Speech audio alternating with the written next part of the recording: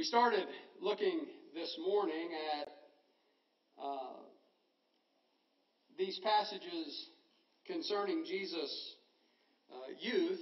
We, we looked at his birth last week, and um, these are the events immediately following his birth. They uh, took him to the temple in Jerusalem and made the offering there for a newborn son, and uh, then they went back to their uh, hometown of Nazareth and were warned to flee from there. Uh, took Jesus to Egypt for some time to uh, protect him from Herod's plot to uh, kill the Messiah, as, as uh, he no doubt saw the Messiah as a threat to his authority. And that was the threat that eventually led to Jesus' crucifixion. You remember, uh, it says that they crucified him because of envy. Uh, they were threatened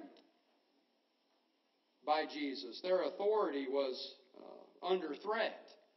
And rather than recognize their rightful place under the authority of the Messiah, the King, as we looked at this morning in the lesson, Worship the King, they tried to eliminate that threat to their authority.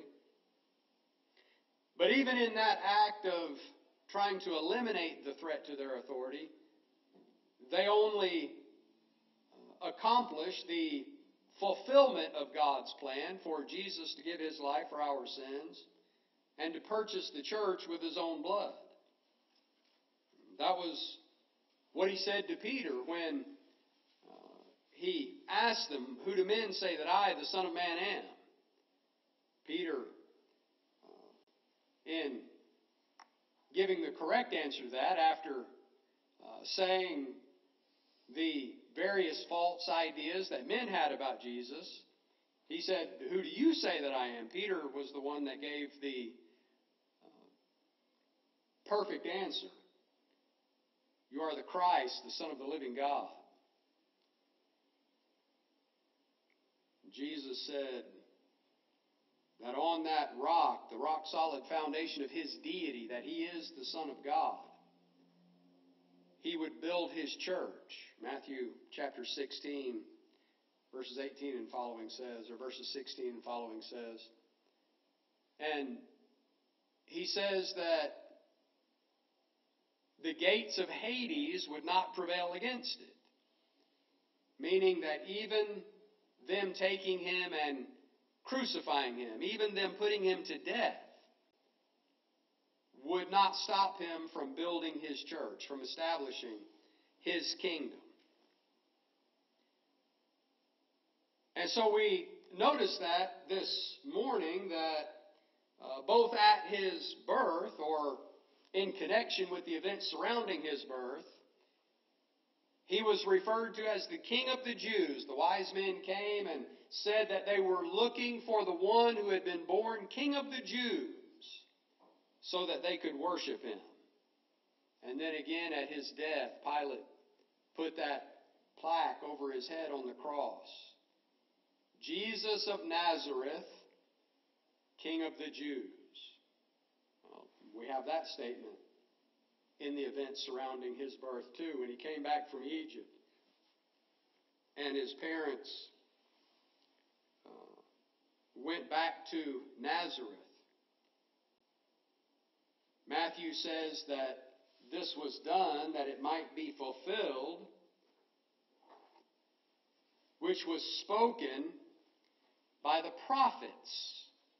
It's interesting there that of the of the five times in the events surrounding the birth of Christ, where Matthew points out that this was the fulfillment of prophecy, this is the only one where he uses the plural prophets. If you look back over at Matthew chapter 1 and verse 22,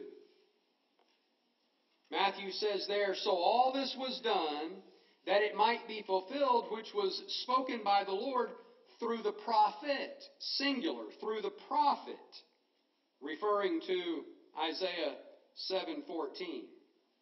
And then a little further down in chapter 2, Matthew recording what the chief priests and the scribes answered Herod when he asked uh, where the Christ would be born.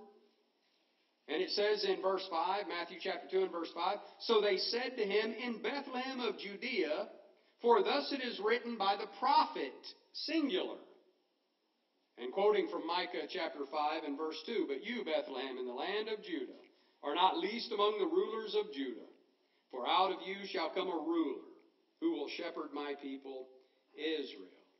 Then the third one in Matthew chapter 2 and verse 15, where it says uh, that they were in Egypt until the death of Herod, that it might be fulfilled which was spoken by the Lord through the prophet, singular, saying, Out of Egypt I called my son. And that's the subject of the bulletin article, Hosea chapter 11 and verse 1.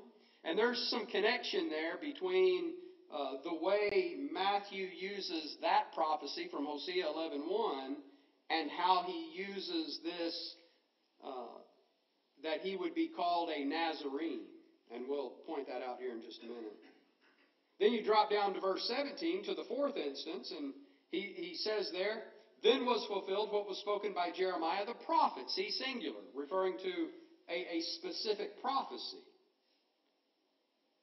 And quoting from uh, Jeremiah there, Jeremiah chapter 31 and verse 15. And then you come down to the fifth one, which is the subject of our lesson this evening. So, five times surrounding the birth of Christ, Matthew shows where the events surrounding Jesus' birth was the fulfillment of prophecy. But here in this fifth one, for the first time, he uses the plural, prophets. That it might be fulfilled which was spoken by the prophets. He shall be called a Nazarene. And so the title for this evening's lesson is Jesus the Nazarene. And just like he was called King of the Jews in connection to his birth, and then again in connection with his death, he was called the Nazarene in connection with his birth, and then again the Nazarene, Jesus of Nazareth, on that plaque on the cross. Jesus of Nazareth, King of the Jews. So both of those statements that are made here at his birth were also made at his death on the cross. I think that's very interesting. But where is that prophecy, or as he uses the plural here, the prophecies, plural, saying that he would be called a Nazarene? And of course, you know, anytime there's a question like that, uh, the skeptics are going to try to make something of that and say that uh, there's a, a problem with the biblical text because there is no Old Testament prophecy calling him a Nazarene. Well, if you, if you read the bulletin article and you see how he uses Hosea 11.1 in connection with, with Christ there, and how it's a uh, type, anti-type uh, fulfillment that, that Matthew is talking about there. Because the, the statement in Hosea 11.1, reading that, you wouldn't even take that to be a messianic prophecy. But a remembrance of God's care for Israel as he led them out of Egypt, how, how he got them out of Egypt. And, and Hosea uses that statement to refer to the exodus of Israel out of Egypt, not to the birth of, of Christ. And so you look at that and you say, okay, well, is Matthew is Matthew using a passage out of context?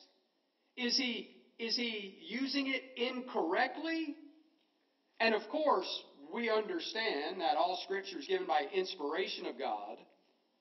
Uh, it, it, was, it was given by the Holy Spirit. Matthew wrote what the Holy Spirit gave him to write. So, of course not. Of course, it's not being used out of context. Of course, it's not being misused or misapplied. So then, how is it being used? And as I pointed out in the bulletin article, it's uh, being used in the way that Paul says in Romans chapter 15 and verse 4, whatsoever things were written before, written for our learning, right? Those things that were written in the Old Testament, those were things that were pointing forward to Christ. Uh, again, Paul says, uh, writing to the Corinthians, that the rock that followed Israel in the wilderness, he says that rock was Christ. So the events that transpired with Israel coming out of Egypt and being led through the wilderness, Christ was there. The, the pre incarnate Christ, the angel of the Lord, the, the uh, uh, uh, uh, presence of Jehovah, the pillar of cloud by day and the pillar of fire by night, the, the miraculous provisions for Israel in the wilderness. That was the second person of the Godhead working with Israel. The eternal Son of God, before he was born in the flesh as Jesus, was there in the wilderness with Israel. And so you have all of these types there in the Old Testament that are all pointing forward to Jesus in the New Testament, that are pointing forward to the ultimate fulfillment that Jesus would be to all of those things. You remember in 1 Corinthians chapter 10, the Apostle Paul says that all of those things were examples for us who live under Christ. Well, that's how Matthew is using Hosea 11.1 there. So it's not being misapplied. It's not being used out of context. It's not being abused in any way. It is that type and anti-type application of Old Testament prophecy. And so with that understanding, we come over here to the Nazarene and we say, okay, well, what is this talking about? Jesus the Nazarene. That it might, uh, that it might be fulfilled, which was spoken by the prophets, and that's that's a key there. That's significant. To, by the prophets, he shall be called a Nazarene. Okay, well, how am I to take that when I can't find anything in the Old Testament that specifically says or explicitly says that the Messiah would be from Nazareth? As a matter of fact, Nazareth isn't even mentioned in the Old Testament. So, how am I to understand that? Is, is Matthew talking about prophecies that were spoken and not written down because, you know, we, we do read about prophets in the Old Testament that didn't write anything. We know that there were prophets among the people who were telling the people the, the, the Word of God that didn't get written down, right? God had written down what we need for the scheme of redemption, to see the scheme of redemption, and to, to have the salvation of our souls. God had written down, all the way from Genesis to Revelation, what is written in Scripture is so that we could hear the Word of God and believe what it teaches about Christ and His kingdom. And believing that to repent of our sins and confess that we believe that Jesus Christ is the Son of God. So that making that confession with the mouth unto salvation, we could be baptized into Christ. To be united with Him in baptism, so that His death would pay the price for our sins and we could live in newness of life with Him. That's why what is recorded is recorded, so that we could do that. So that we have the, all the information here. There's nothing lacking here to be the man that God wants us to be, to be the person that can live a life well pleasing to God. That's what Paul says in 2 Timothy chapter 3 verses 16 and 17. All scripture is given by inspiration of the Holy Spirit that the man of God may be complete, thoroughly furnished for every good work. And so that's what we have in Scripture. So we understand that the prophets were preaching things, the prophets were, were telling the people things that we don't have written down. Isn't that what John said? That if, if we had everything written down, the world couldn't contain that book.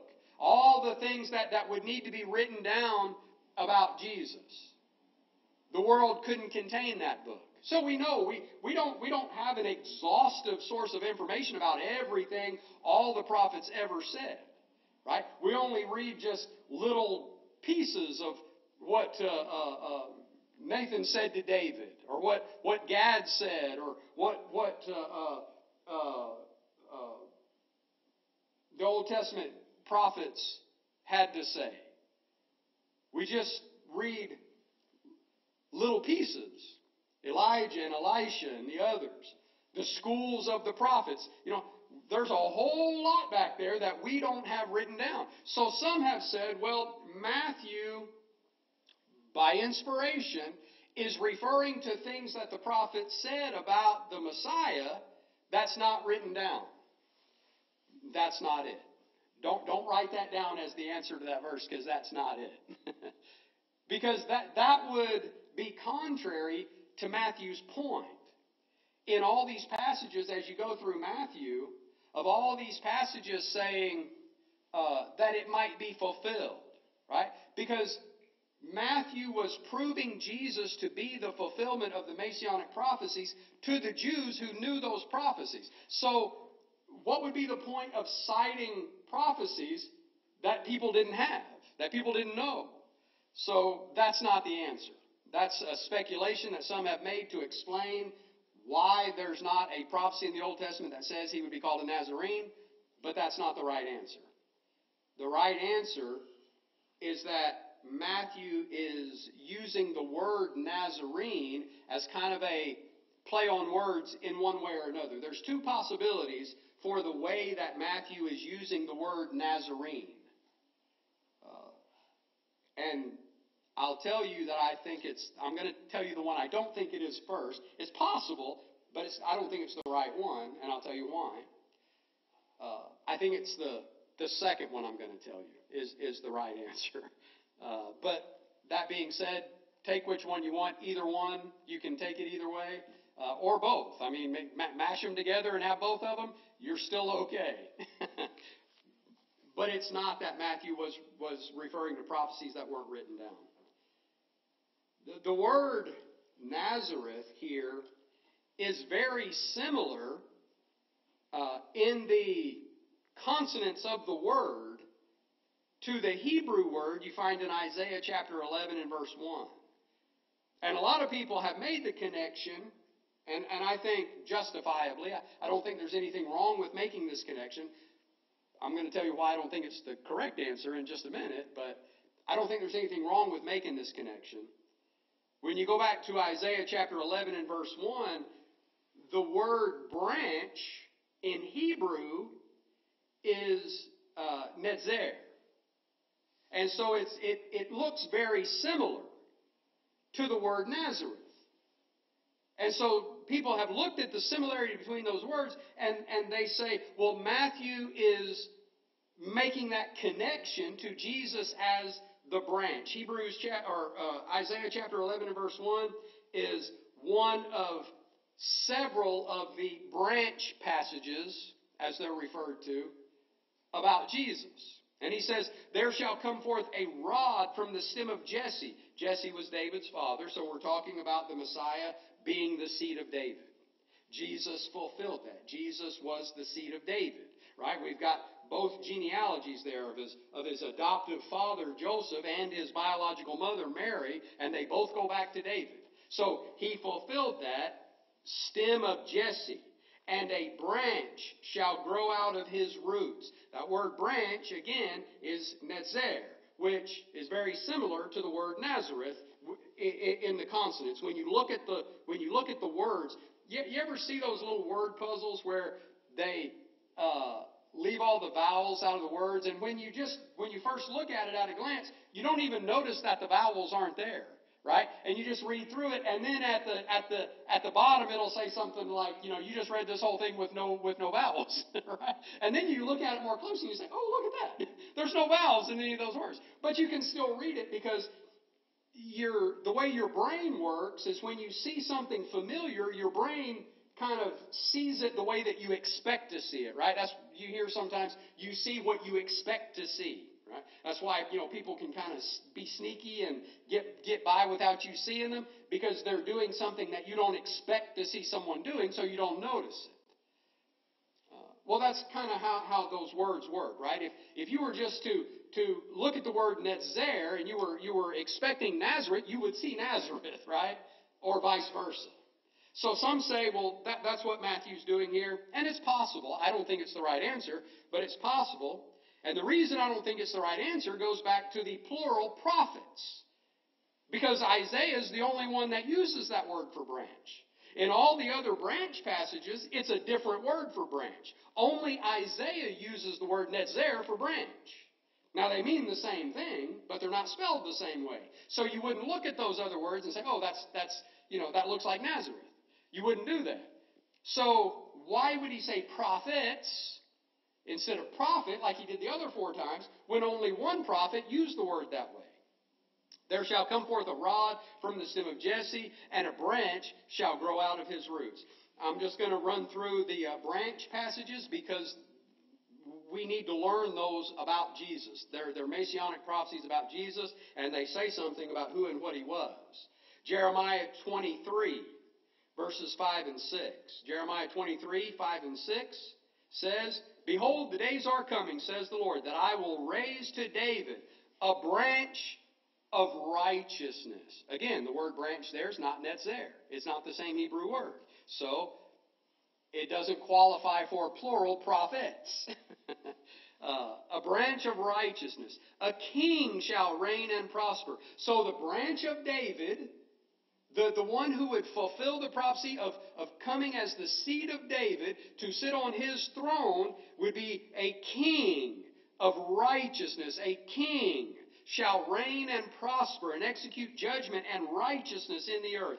In his days, Judah will be saved, and Israel will dwell safely. Now, this is his name by which he will be called the Lord our righteousness. Isn't that a beautiful prophecy about Christ? The Lord our righteousness. Isn't that what Paul says about Jesus? That he is the righteousness of God, and in him we are the righteousness of God, right? As Paul said in Romans chapter uh, 1, verses 16 and 17. Uh, that the gospel is God's power unto salvation, and in it is the righteousness of God revealed from faith to faith. Well, what is the gospel? The word gospel means good news. Good news about what? Good news about the Lord our righteousness. We become righteous when we live like Jesus, the Lord our righteousness. Jeremiah chapter 33, verses 15 and 16. Jeremiah 33, verses 15 and 16 says, In those days and at that time I will cause to grow up to David a branch. Again, not netzer. that word's only used in Isaiah 11.1. I will cause to grow up to David a branch of righteousness. He shall execute judgment and righteousness in the earth. In those days, Judah will be saved and Jerusalem will dwell safely, and this is the name by which he will be called the Lord our righteousness. The Lord our righteousness. Zechariah chapter 3 and verse 8. You heard me say this morning in looking at some passages from Zechariah that, that Zechariah's messianic prophecies are probably my favorite. I know Isaiah has some amazingly beautiful messianic prophecies. Isaiah is referred to as the messianic prophet because he, he gives so much information about the Messiah. And, and, and I love those messianic prophecies from Isaiah. They're beautiful. But I really like Zechariah's messianic prophecies. In Zechariah chapter 3 and verse 8, he says, Hear, O Joshua, the high priest, you and your companions who sit before you, for they are a wondrous sign. For behold, I am bringing forth my servant, the branch. That is the branch of David, the seed of David. Zechariah chapter 6 verses 12 and 13.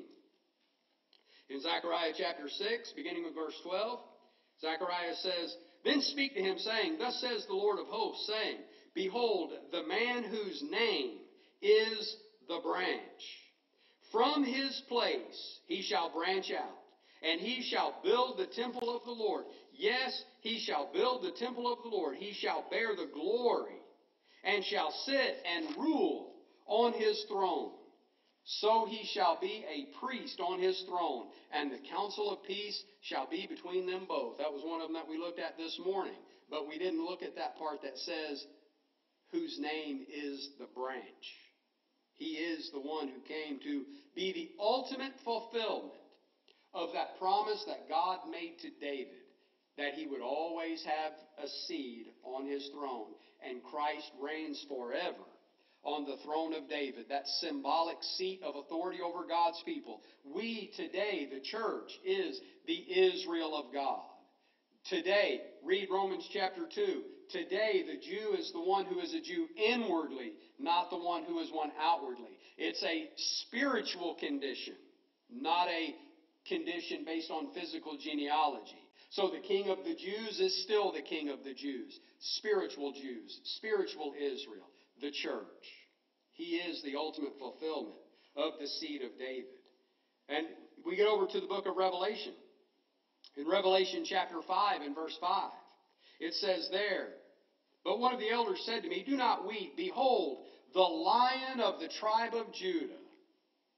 I, I, I love that reference to Jesus, the lion of the tribe of Judah, the root of David, has prevailed to open the scroll and to loose its seven seals. And then uh, at the, the end of Revelation in chapter 22 and verse 16, it says, I, Jesus, have sent my angel to testify to you these things in the churches. I am the root and the offspring of David, the bright and morning star. What led the wise men to where Jesus was? That star.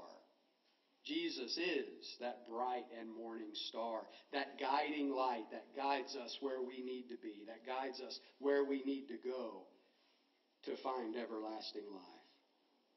So, some have said that Matthew is referring to these branch passages by making a play on words with that Hebrew word netzer. Again, I don't think that's the right answer because only Isaiah uses that. So it wouldn't be plural prophets, it would be singular prophet, the prophet Isaiah, using that word netzer. But then, when you look at the perception of Nazareth in the time of Christ, and, and what was it Nathaniel said when uh, they came and told him that they had found the Christ, Jesus of Nazareth? And, and what did Nathaniel say? Does anything good come out of Nazareth? Right? That's, that's how the people at that time perceived Nazareth. It was to, to call someone a Nazarene in that time would be like calling somebody a, a hillbilly or a bumpkin, uh, uh, a, a belittling term. That's, that's how they use the word Nazarene.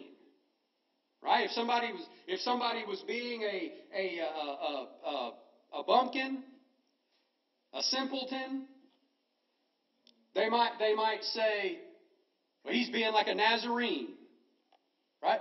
So, when you, when you see that perception of, of Nazareth, and, and how they used the term Nazarene as kind of a slur,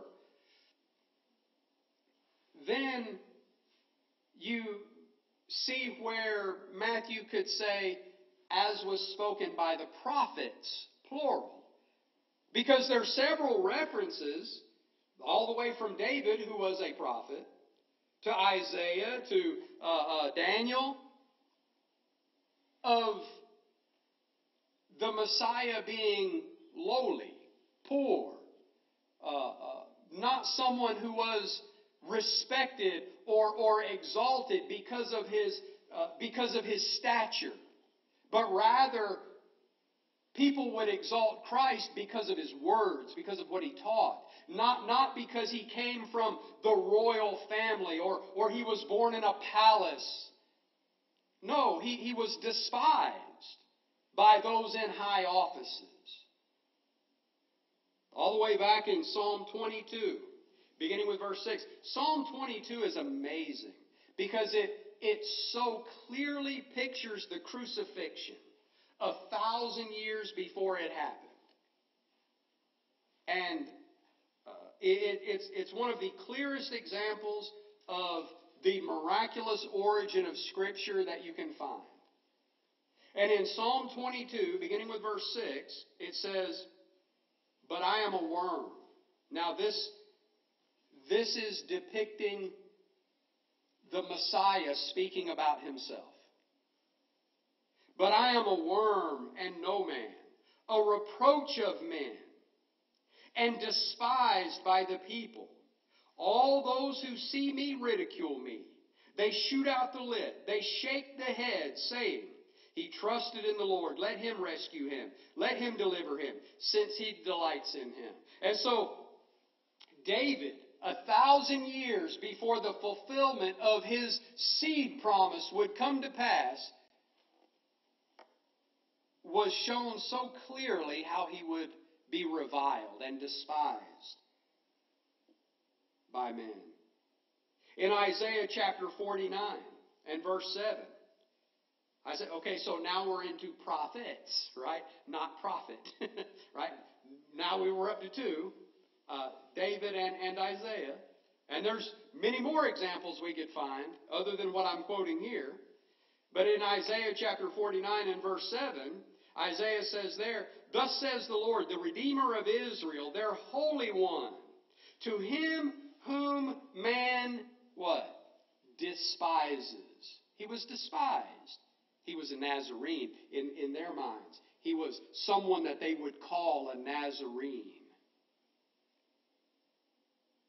Whom man despises. To him whom the nation abhors. That's some strong language right there.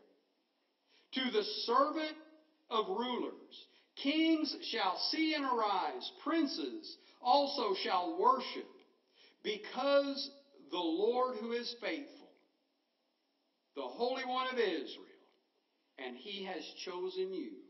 So where man despises him, God chose him. God exalted him. He was the Messiah, the Savior of the world. And of course, Isaiah chapter 53 and how Isaiah pictures the suffering servant, the Messiah, as the suffering servant.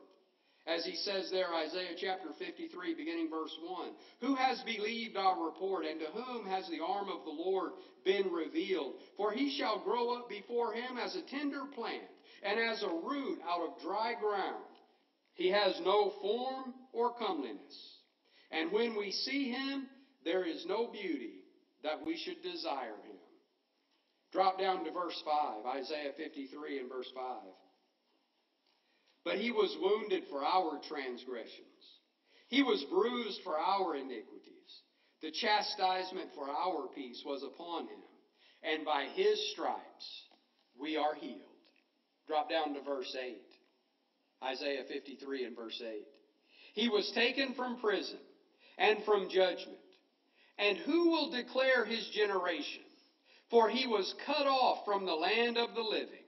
For the transgressions of my people he was stricken.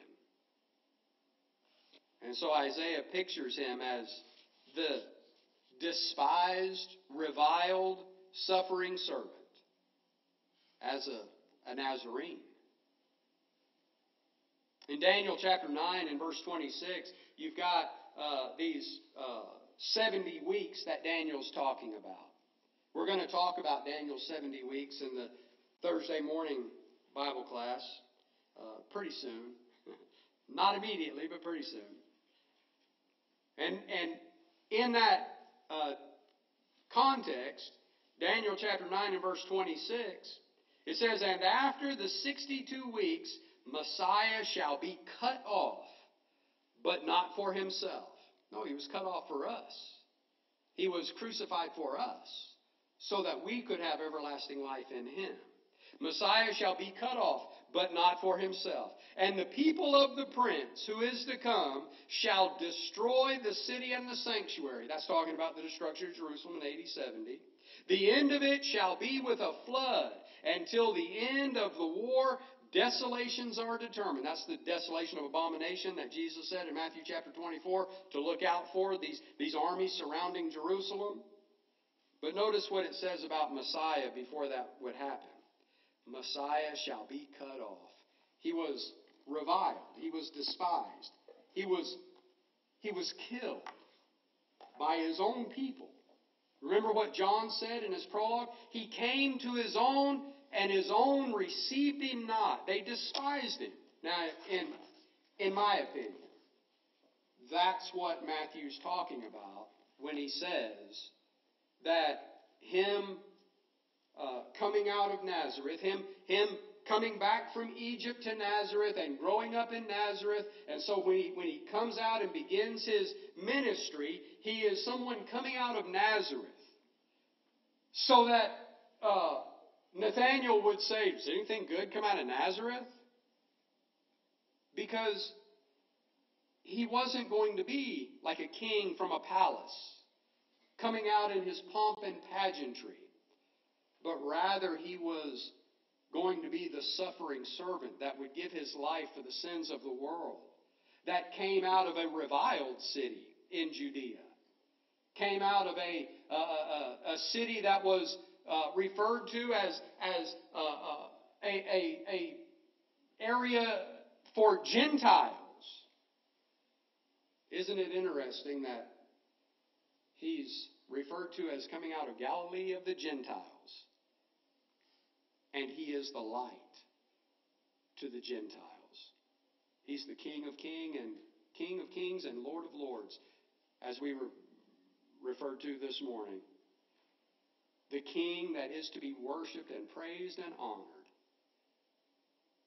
He is Jesus the Nazarene. Do you need to come to him this evening while we stand and sing?